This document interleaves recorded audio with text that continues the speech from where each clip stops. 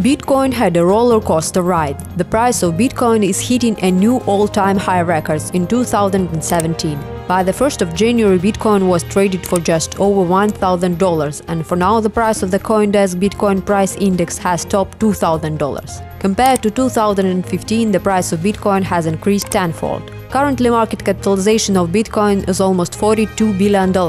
This happens against a growth of the cryptocurrency market and strong surges from Ripple's XRP. Today, the cryptocurrency market has overcome the barrier of $86 billion.